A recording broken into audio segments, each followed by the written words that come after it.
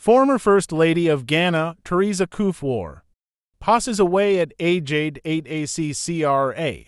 Ghana, Theresa Kufuor, the esteemed former First Lady of Ghana and wife of the second President of the Fourth Republic. John Kufuor has regrettably passed away at the age of 88. Her legacy, as a prominent figure in Ghanaian history, will be remembered and cherished by the nation. Our thoughts and condolences go out to her family and loved ones during this difficult time.